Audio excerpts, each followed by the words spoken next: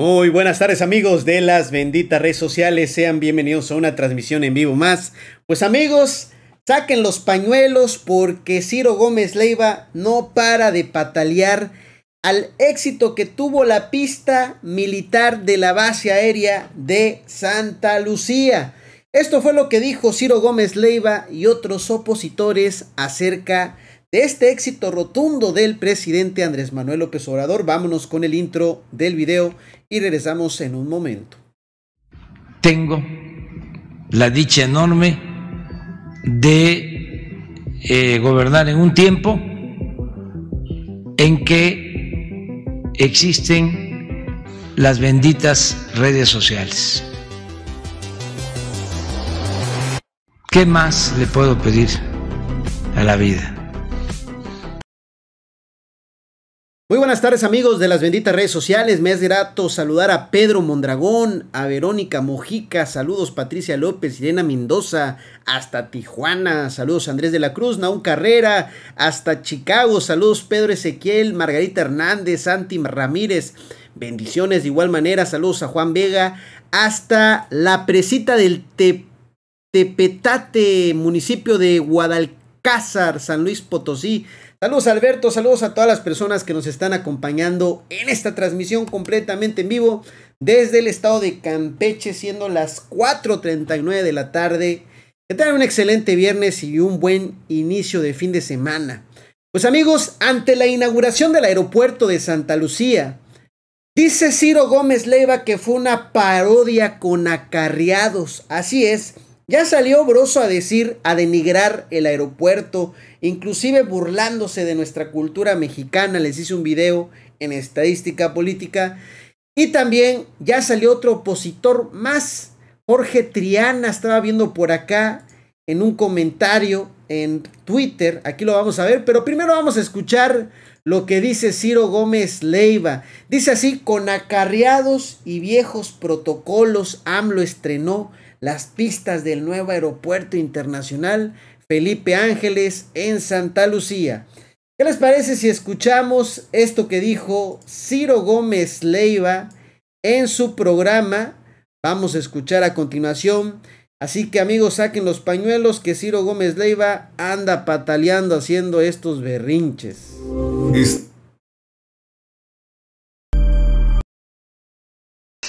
Bueno, ha comenzado la conferencia de prensa. El presidente López Obrador está hablando de su experiencia ayer en el aeropuerto Santa Lucía.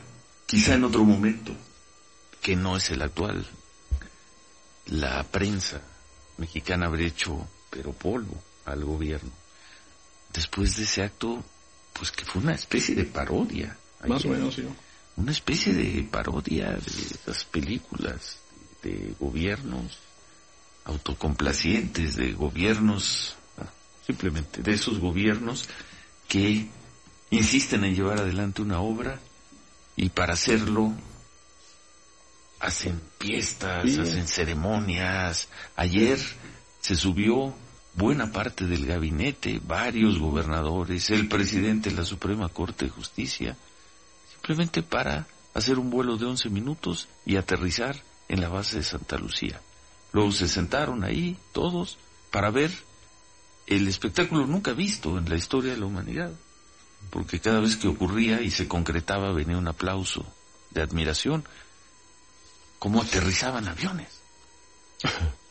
A llorar, Ciro. Pues sí, ¿Te acuerdas de esas películas o esos documentales, eh, los años cuando se inauguró el aeropuerto Internacional de la Ciudad de México. ¿En qué año fue? ¿En qué año se inauguró? Finales de los 50, creo que fue en los años 50, que la gente acudía y se paraba y aplaudía cuando aterrizaba los aviones, que en aquel entonces supongo aterrizaba un avión cada hora, cada dos, cada tres horas. Pues eso hacía ayer el presidente de la República, la secretaria de Gobernación, el canciller, el presidente de la Suprema Corte, el secretario de la Defensa, la gobernadora de la Ciudad de México, el gobernador del Estado de México. ¿1900 qué? Ah, fue en 39 eh, cuando se inauguró el aeropuerto, los vuelos creo que comenzaron a llegar ya los vuelos comerciales hacia mediados finales de la década de los 40, toda la gente aplaudía. Pues algo así ayer en Santa Lucía. Y para eso el presidente de la República se llevaba buena parte del poder político. El secretario de Turismo, mientras llegaban noticias lamentables de las cifras. Pero están, y aplaudían, y aplaudían, y aplaudían. Todo esto para un aeropuerto que todo indica no va a ser viable comercialmente. Un aeropuerto al que el ciudadano común y corriente va a tardar dos horas en llegar, si va bien. Sí, claro. Donde el gobierno dice que tendrá listo listas 10 vías de acceso para el próximo año, lo cual es imposible. Y ya vimos en este mundo que lo imposible termina siendo imposible, no se concreta. Pero bueno, se llevó a cabo esta ceremonia. ¿Quién lo repara? ¿Quién lo critica? Por ahí una columna, por ahí un comentario y punto. Y luego dice el presidente López Obrador que es el presidente más atacado desde Madrid y se le deja pasar todo. ¿no? ¿Qué fue lo de ayer en Santa Lucía? ¿Qué fue? ¿Cuánto costó en términos de gasto público sacar de sus responsabilidades a tantos funcionarios? ¿Cuántas cosas urgentes se dejaron de atender? Y a este gobierno que le encanta contar hasta el último lápiz, la última hoja de papel, ¿cuánto costó levantar un avión militar para volar 44 kilómetros? Sí. 11 minutos con todo el gabinete. ¿Qué riesgo de seguridad, además, con los protocolos? No sé si se habrán roto No, bueno, por eh, haber llevado a en el mismo avión al presidente de la República, a la secretaria de Gobernación, más otros, al, la jefa de gobierno de la Ciudad de México, en fin, para sentarse y aplaudir cómo aterrizaban unos aviones. Algunos de ellos, decía Marco, Marco Silva, ¿cuántas vueltas dieron, Marco? Algunos, algunos, 25 algunos de, de ellos los pusieron a dar 25 aviones, fueron tres, ¿no? Viva Aerobús. ¿Cómo estás? Fueron Buen cuatro. día. Buenos días. Volaris. Aerobús. Fueron cuatro y el patrón de espera para todos duró alrededor, promedio, poco más, poco menos, tres horas, Ciro.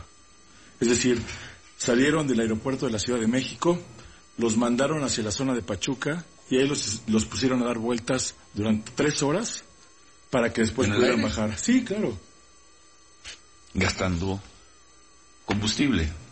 Y además, ¿sabes qué, Cosa que, repito, este gobierno que todo lo tiene que Pues sí, ahorrar. sí. utilizando el área de, digamos, reserva para una emergencia real de cualquier, de cualquier avión que estuviera eh, con pasajeros en una aproximación real hacia el Aeropuerto Internacional de la Ciudad de México. ¿Y todo por qué? Porque pues ayer era Día de la Fuerza Aérea y el presidente quería darse una demostración de que su proyecto, no sé qué, de que su proyecto camina, de que su proyecto va, Claro. de que en las pistas sí pueden aterrizar aviones como los de Viva Aerobús y Volaris que aterrizaron ayer. Nada más. Y terminó y el avión ya no los trajo de regreso. Ya no, a la mayoría ya no, se regresaron por tierra y el dato que nos... como puedan. Sí, exactamente, un poco, eh, digamos, sale el presidente con algunos acompañantes. Oye, les dieron trato de viejos acarreados. Sí, claro. Les dieron sí. una torta y le dijeron, ¿y cómo nos regresamos, candidato? Torta de. Regrésense, regrésense como puedan. Entonces, ayer platicaba con nuestra compañera Sara Pablo por la tarde y entonces, pues básicamente lo que sucedió es que el presidente y algunos de sus primeros acompañantes, no sabemos exactamente quiénes, salieron de regreso hacia la, hacia la escalerilla del avión, a ellos los retuvieron, es decir, a ellos los reporteros y otro grupo importante de acompañantes ya no los dejaron acercarse a esa maniobra, el avión salió y ellos vieron el avión militar desde tierra. Ahí Y va, vámonos. ahí va el presidente, Y se subieron a vehículos. media, hora y media, hora cuarenta. una hora 48 minutos Hizo cuando menos uno de ellos. de Santa Lucía, así es, a la Ciudad de México. Entonces, pues ya hay pista, lo que falta es el aeropuerto, Ciro. Falta el aeropuerto y faltan las vías para llegar. Sí, por supuesto, como bien decía, Van a ¿no? decir que, 10 sí- frentes que de obra. sí se puede llegar. ¿no? Tan es así que ayer, en una Ah, hora no, y claro. 48 minutos. Es que no. salió del, del aeropuerto Santa Lucía. Es muy inteligente, por supuesto, este gobierno en ese sentido, Ciro, porque como tú bien dices, cuenta los lápices y si de preferencia puede no haber lápices y escribir con dedo y mugre, pues con eso escribes. Pero o sea, lo- muchas veces lo que, lo que han dicho los que observan al presidente es gasta en política y en propaganda lo que puede, lo que puede. Entonces, imagínate que baje un avión, ya vamos a ver seguramente propaganda cuando está bajando, subiendo un avión comercial, decir, ya funciona. Pues sí, en una pista militar, o sea, porque esta es la pista militar. La que se inauguró ayer es una pista militar, de unas instalaciones militares, de una zona pequeñita de lo que será un aeropuerto. Y yo no, perdón, eh, yo no termino de pensar, o más bien piensa, quizá como si fueran personajes de la historia o personajes de la literatura, ¿qué sentirá? ¿Qué sentirán políticos profesionales? Hmm. De tan alto nivel, profesionales en toda la extensión de la palabra, cuando los llevan a eventos. ¿Qué sentirá en el fondo Marcelo Ebrard cuando lo llevan a un evento así? ¿Qué sentirá Claudia Sheinbaum? ¿Qué sentirán varios más de los que, no todos, eh, algunos están ahí, porque están ahí, si no estuvieran ahí, jamás, No, no, jamás, jamás saldrían en esas fotos. ¿Qué pensarán en el fondo de eventos como el de ayer? En fin, lo dejamos. ¿Qué va a pasar? Ahora bueno, regresamos con, Claro. con este tema más, más adelante. Bueno, ya pudimos ver lo que tanto dijeron, ya. Pueden guardar los pañuelos, ya terminó de lloriquear Ciro Gómez Leiva. Obviamente hubieron muchas críticas al gobierno por la inauguración de la pista militar de la base de Santa Lucía, porque amigos, no se inauguró un aeropuerto, se inauguró la pista militar, la base militar de Santa Lucía. Salen a criticar que aviones volaron en círculos para esperar a AMLO en inauguración de Santa Lucía. Esto según lo confirmaron mediante unos, eh, eh, ¿cómo se llama? Bitácoras de vuelo. Creo que así se llaman, ¿no? De hecho, aquí hay una imagen. En efecto, se ve cómo sale el vuelo aquí del aeropuerto. Está girando en círculos. Da 25 vueltas, casi como 3 horas en el aire, dicen. Eh, ahí está, dando vueltas, vueltas, vueltas, vueltas, vueltas, vueltas, vueltas, vueltas, vueltas, vueltas, vueltas, hasta que se dirige a la base de Santa Lucía. Una de estas ya va para ahí. Ahí está, aquí ya fue. Es que va y aterriza, ¿no? Y pues salieron a criticar ello. También eh, hubieron otras imágenes. Vamos a ver. Estas, miren, de que hay grietas, ¿no? Y también hay un bache aquí. Bueno, imagínense, vamos a revertírselas a los opositores que tanto critican esta imagen, que dicen, miren, la calle ya está toda agrietada, tiene baches. Pues se las vamos a regresar a los opositores, ¿y saben cómo? Así tan fácil. Bueno, si esto pasó en Santa Lucía, imagínense en Texcoco cómo se hubiese puesto, no peor. Habría un cráter, habría una alberca ahí llena de agua y más allá al fondo otra. Y bueno, esto se está asentando el piso. Pero no es lo mismo el mantenimiento que se le puede hacer al tapar ese bache. A lo mejor esta grieta se plana, listo. A las millonadas que nos íbamos a estar gastando en el Texcoco con los mantenimientos, esto y lo otro. Y recuerden, este aeropuerto está al 50% de su avance. Así se las regresamos fáciles. Ok, va, va. Hay un hueco ahí. Mm, Sí, se ve mal, obviamente. Pero pues para que vean que aquí no hay nada que ocultar. No es como antes de que, ay, llega el jefe, llega el patrón, póngase todos a trabajar, ¿no? Que se vea todo limpio, bonito y lo que veías era una simulación. Por ejemplo, pasaba, yo, yo me acuerdo muy bien de esto, cuando una vez vino Peña Nieto aquí a una cena con gobernadores en uno de los baluartes. Imagínense, los baluartes aquí en Campeche son como castillos preciosos con vista al mar, ¿eh? O sea, imagínate algo, una cena de gala en lo cultural del estado, esos baluartes que ya tienen muchísimos años. Y cuando llegaba el gobernador, por donde pasaba, eh, perdón, cuando llegaba el presidente por donde pasaba, ahí llevaba paseando alito a, ¿cómo se llama? O no si era, creo que era Fernando Ortega Bernés, el antiguo gobernador. Ahí, paseando a Peña Nieto y por las avenidas las pintaban, te bacheaban todo. Es más, hasta hacían calles nuevas, ¿no? Ahora sí que, pues venía el presidente y pues hacer calles nuevas, ¿no? Y pintaban. Y todo es una simulación. Pues fuera máscaras, ¿no? Ya no es como antes, ok, hay defectos, a veces eh, pasa esto, pero pues qué bueno que está el presidente ahí, lo va a ver y dice, pues, oigan, vamos a evitar que se trate esto. Qué bueno que no lo traten de ocultar así, para que se vea realmente pues esas imperfecciones. Pero sencillamente así fácil, porque los opositores salieron a festejar esta foto. Ay, miren, está grietado los huecos. Pues que se imaginen cómo iba a estar en Texcoco para empezar, ¿no? Entonces, eh, dice aquí, excelente, ¿cómo les quedó el ojo? No es el cerro que la oposición decía, este es el proyecto que el PRIAM pide a gritos cancelar y les falló. Polaris, Aeromar, Viva Aerobús aterrizaron en Santa Lucía. Inclusive estas fueron las primeras palabras eh, de lo que se mencionó ahí en el aeropuerto. Así recibían el primer aterrizaje. Vamos a escuchar.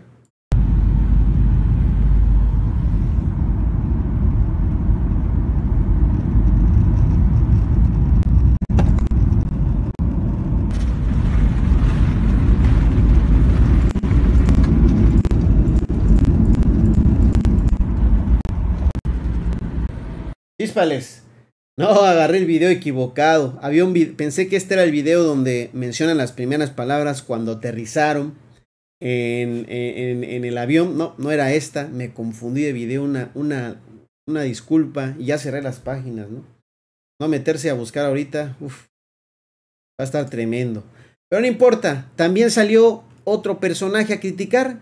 Este de aquí, Jorge Triana el burro hablando de orejas, así se las gastan los blanqueazules.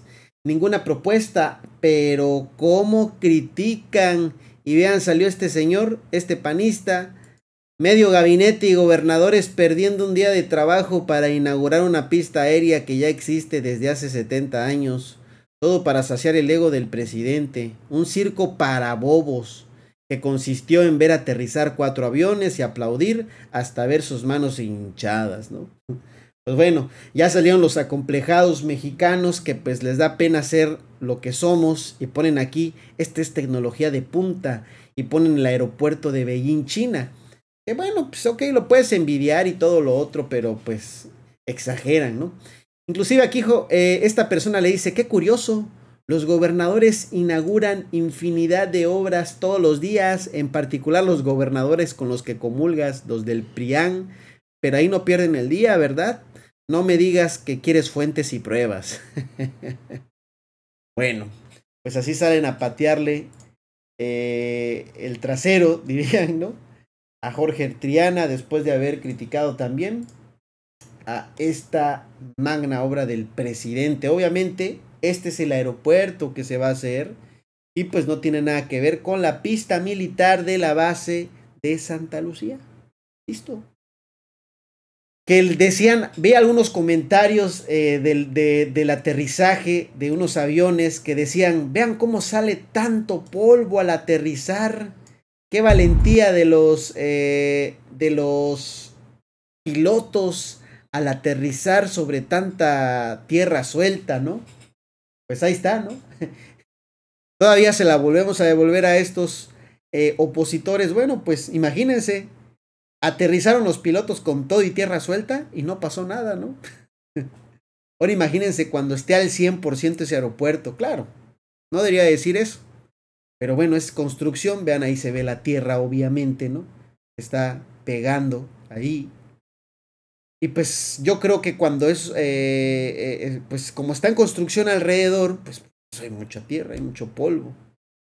En fin, pues amigos, esta es la información que les traigo por el momento. Como siempre, más adelante, más videos. Dale me gusta, compártelo en tus redes sociales.